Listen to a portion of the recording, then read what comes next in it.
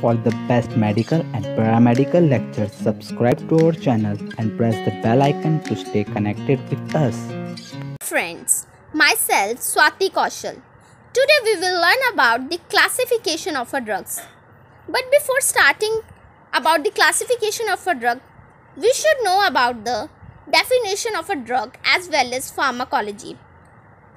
So friends, let's start. A drug is defined as any substance used for a purpose of diagnosis, prevention, relief, or cure of a disease.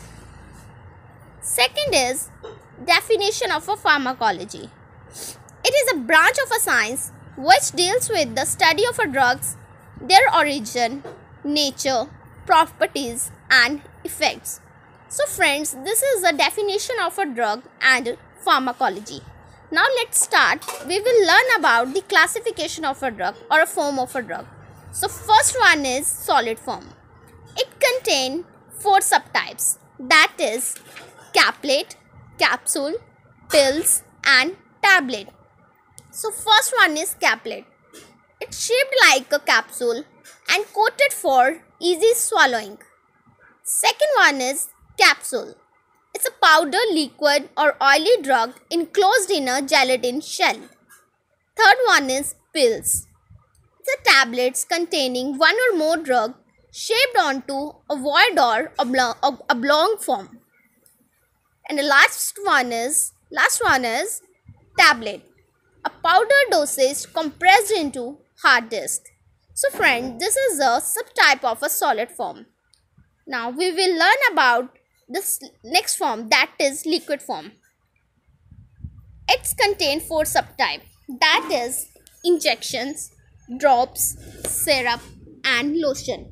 So friend, first one is injections. It's a liquid drug in the ampule or a vial for intramuscular, intravenous, subcutaneous and intradermal use. Second one is drops. It's a liquid drug for instillation in eye, ear and nose.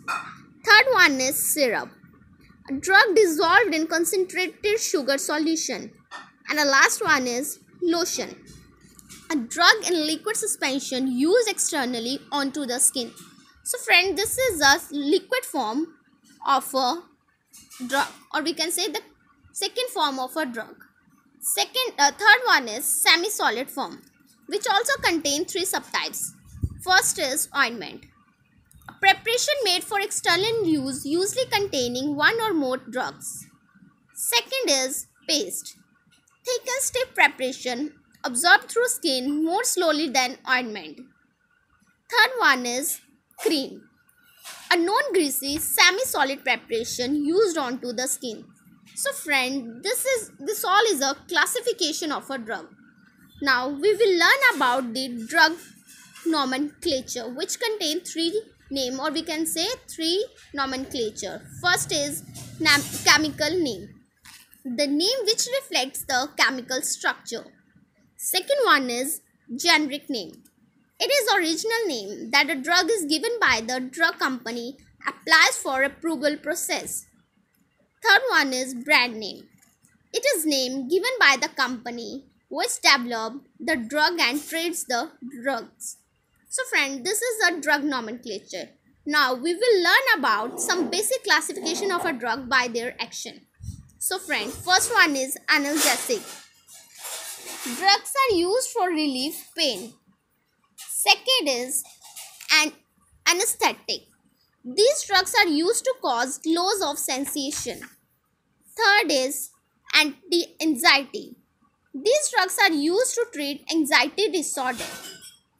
Next is anticoagulants. These drugs are used to prevent blood coagulation.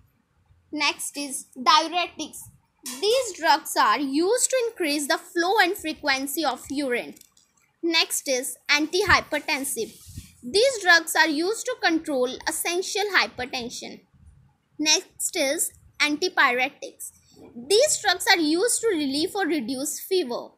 Next is antiseptic. These are a chemical used to destroy bacteria. Next is tonic.